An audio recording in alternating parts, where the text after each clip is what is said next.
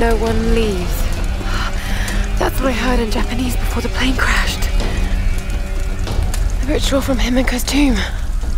Why is Matthias so interested in it?